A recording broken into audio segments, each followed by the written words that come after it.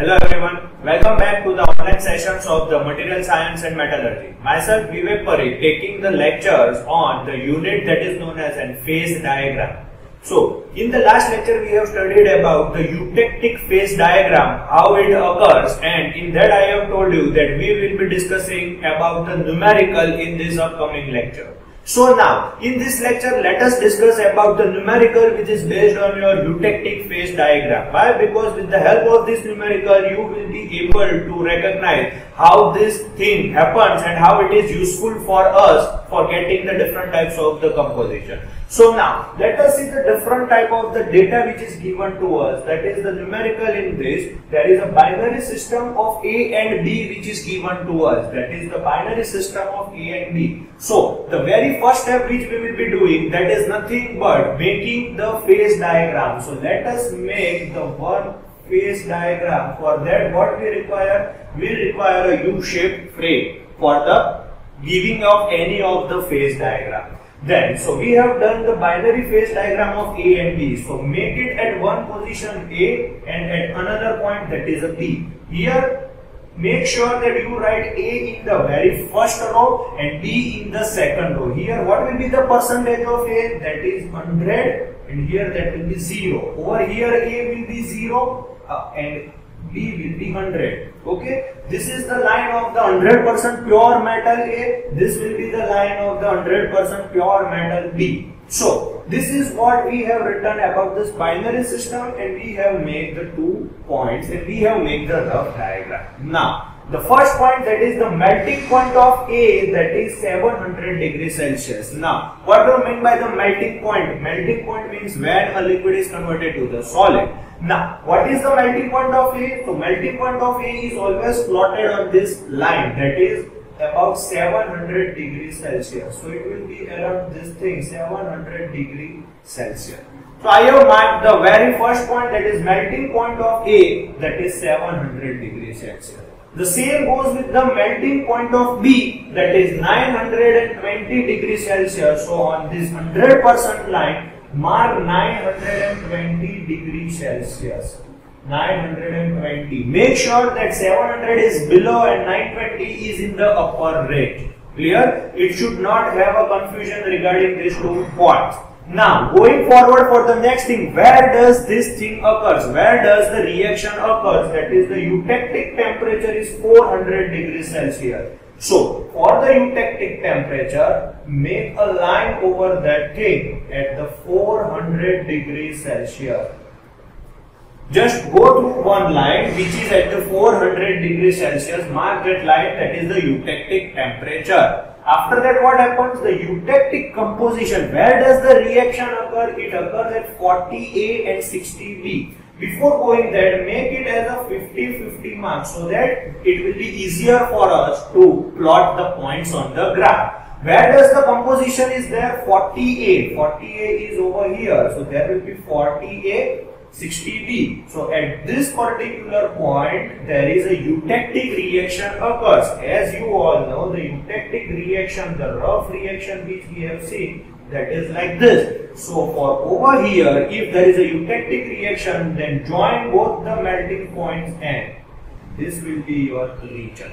So this is the eutectic reaction which we have plotted on a particular graph. So here we have also mentioned the eutectic composition of A and B. Where does it occur? 400 degrees Celsius. At which composition? 40, 60 mark.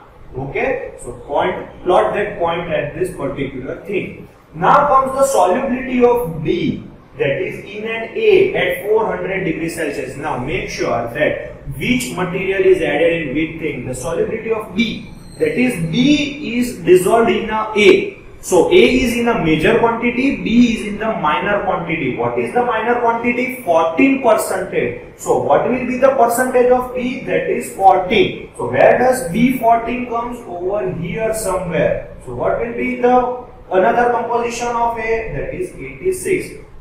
Where at 400 degrees Celsius. So at the 400 degrees Celsius, mark one point that is of the 8640 and mark that point.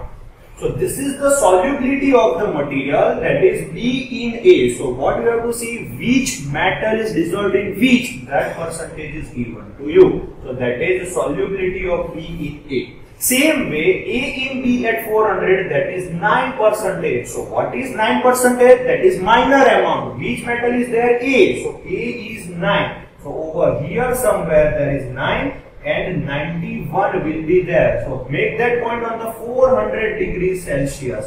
So plot that point over there. So now we have also introduced this thing that is solubility of A in B where at 400 degrees Celsius. Now solubility is there but where they are given at a room temperature. The bottom line that is given that is known as a room temperature. Okay, so now we will be plotting it that B in A. So what will be the B? That is 1 percentage. So over here it will be coming.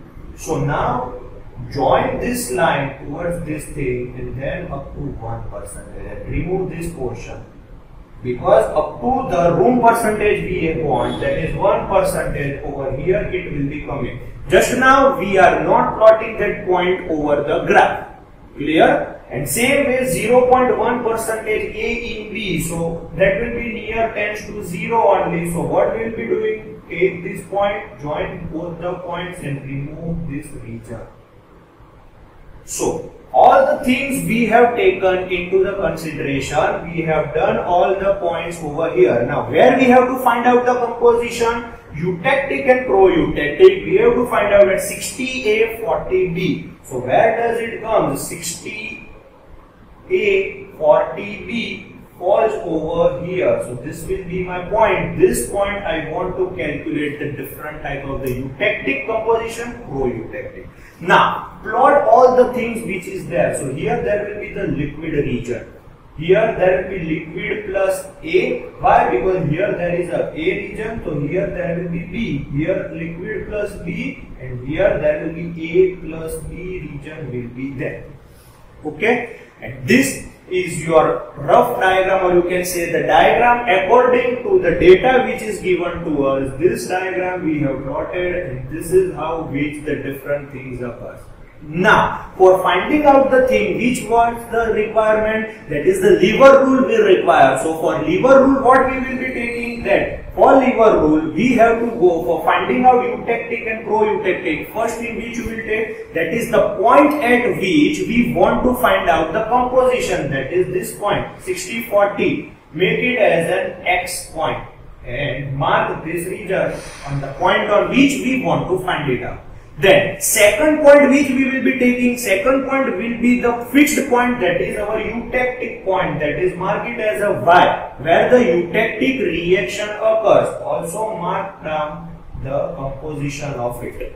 And the third one, now for the lever rule you always require the three points. One point we have found it out, the point on which we require the amount. The second point that is the eutectic point that is the fixed. The third point which we will be taking, third point will be your point at which we require that is at 60 40 60 a 40 b that should be always the center point so if this is the center point then which will be the third point automatically z comes over here automatically Z will be coming over here. So this will be our third point. So now apply your lever rule. I make it simple for you. That is Z, X, Y. Okay. Here the composition. Now you have to take or select any one composition either A or either B. Out of these two, you have to take any one of the composition for the particular calculation. Let us take it as an A marking. So it will be 86, 60 and 40.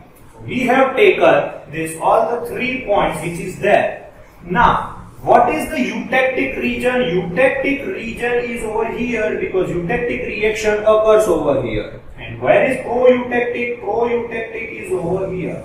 So now let us find out how to find out this thing with the help of the lever rule. So for the pro-eutectic, for pro-eutectic, as I told you in the last lecture, how we can apply the lever rule, the opposite end we have to take. So pro-eutectic is over here. So opposite part we have to take. So that is xy equal to xy divided by the full that is yz multiplied by 100. What is xy? xy is nothing but 60 minus 40 divided by what is total yz that is 86 minus 40 multiplied by 100.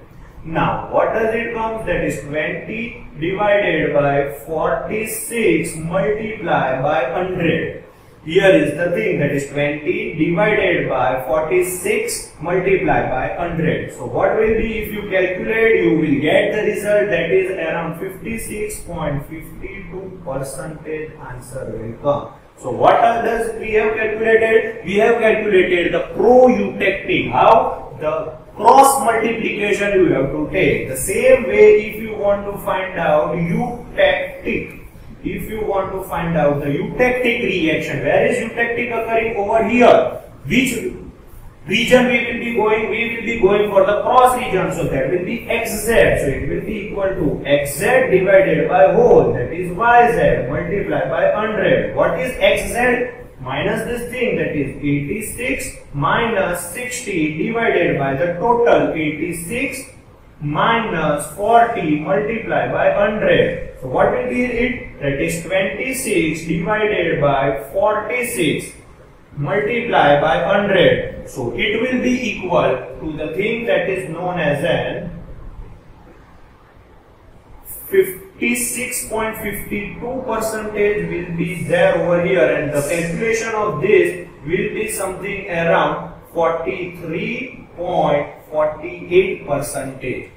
So this is how you can find out the two different types of the thing with the help of the lever rule. Clear? So this is how we can find out the different composition with the help of the lever rule and this is the eutectic diagram or the informations which we can get from the diagram that is this much. The solubility we can get, the melting point we can find it out, the eutectic temperature, eutectic composition, all these things we can find it out with the help of of this eutectic phase diagram. So this was all about the thing that is known as an eutectic phase diagram. Clear with it? So with the help of this numerical it will be very much easy for you and with this we can find out any of the information from this phase diagram. Clear? So now, remaining with the two different types of the phase diagram, we will see only the diagram of that particular thing and the same thing we can apply on the any of the diagrams. Okay. So now let us move forward for the next diagram.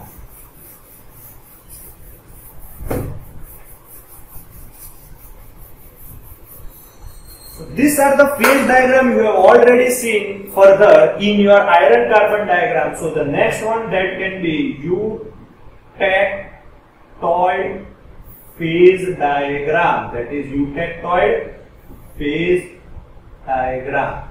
Now let us see how does this thing happen. Eutectoid phase diagram in the V if you go then this type of the diagram eutectoid diagram is the thing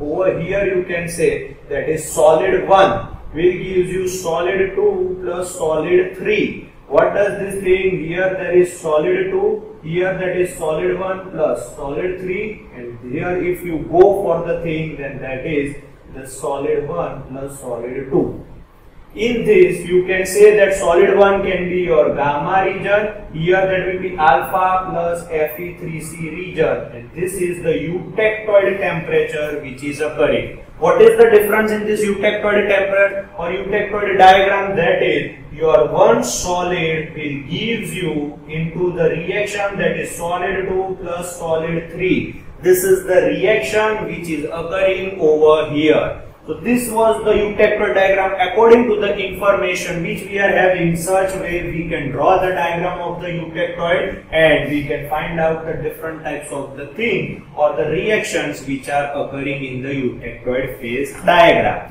The same way if we want to go for the next one that is the peritectic phase diagram. The diagram or the reaction which is occurring at the top that is peritectic phase diagram, peritectic phase diagram. Now, how does it occur? what does the thing happens in this peritectic diagram? The same one as you have drawn in the iron carbon diagram.